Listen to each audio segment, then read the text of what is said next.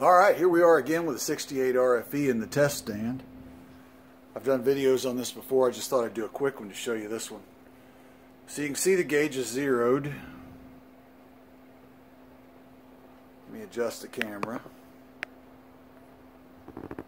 And you can see I'm sitting on top the very first OD clutch.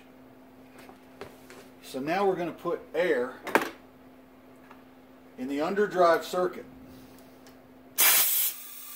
This is full shop air. See now it shows 11. So now we'll look at the clearance that remains. So 40. So my actual OD clutch pack clearance with the underdrive applied is only 29.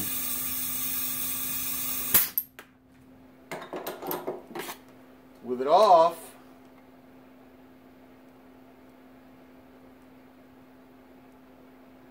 I got the full 40.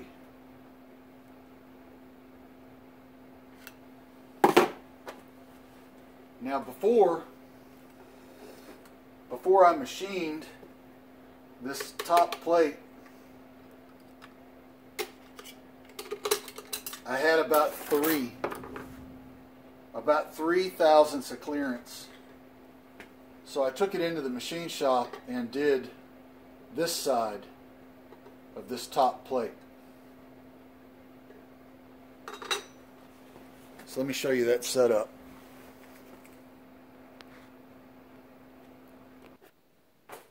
So there's the old lathe. We have a real problem in this building with condensation. So my shiny new lathe chuck is brown from rust. It makes me sad, but so the rough turning was done here. And I haven't figured out how to get a decent surface finish. Uh, the closest thing I found is slowing it way down on the back gear. If you got any ideas, let me know. Um, after the, the lathe work is done, it goes to the grinder. And the grinder has a magnetic chuck on it. So you can see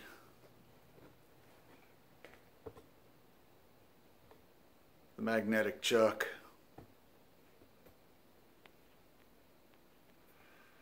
And so then to drive it, I just use a drill.